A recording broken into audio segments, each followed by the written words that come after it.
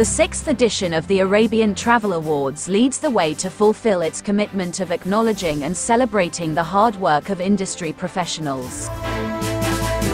The winners are Dusit Princess Residence Dubai Marina won the award for the best holiday homes. Al Rostamani Travel and Holidays was recognized as the best tour operator outbound. Best Desert Resort, Tilal Liwa Hotel. Best Growing GSA, ITVAR. Best 4-Star Executive Hotel, Golden Tulip Media Hotel. Best Destination Wedding Hotel, Bahi Ajman Palace Hotel. I think after the COVID, we become a really a hub of wedding uh, uh, for Northern Emirates or even for the region also. Uh, I think that credit goes to team. Winning this award makes a lot of um, awareness about ITVAR in UAE. Um, we are growing very fast in Middle East and Africa. Dreamdays awarded with the title of Best Corporate Gift Experiences. Ezytrip won the award for the fastest growing B2B online travel portal Qatar. Best Hotel Apartment, Mercure Dubai Barsha Heights, Hotel Suites and Apartments.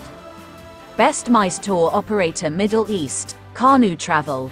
Best Luxury Resort Maldives, Siyam World. Best 4-Star Contemporary Hotel, Edge Creekside Hotel. Best Honeymoon Destination, Mauritius Tourism Promotion Authority. Our hospitality partner was Sofitel Dubai Downtown. Definitely, I will dedicate this trophy to my team, to my management, owners, and uh, to Dubai Tourism. I'm uh, really glad of it uh, for the recognition. People are getting used to the uh, digitalization, the online, everything's online.